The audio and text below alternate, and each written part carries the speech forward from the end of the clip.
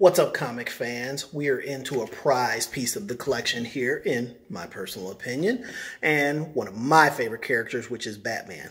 Now, this series starts off with Batman 401, and we've got a lot of good story arcs in here. We've got Batman Year One, we've got the introduction of Jason Todd, we've also got the Death in the Family, which showed us the Joker killing said Jason Todd, which also led us into the next Robin, one of my favorite Robins, Tim Drake, but we all know that Dick Grayson is the best.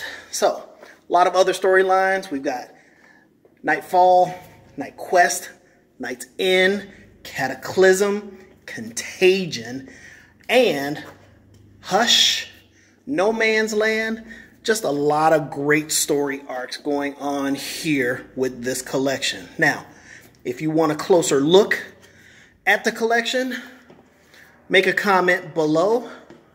If you don't want to miss out, because there's a lot more Batman coming, you definitely want to subscribe so that way you don't miss the next comics coming.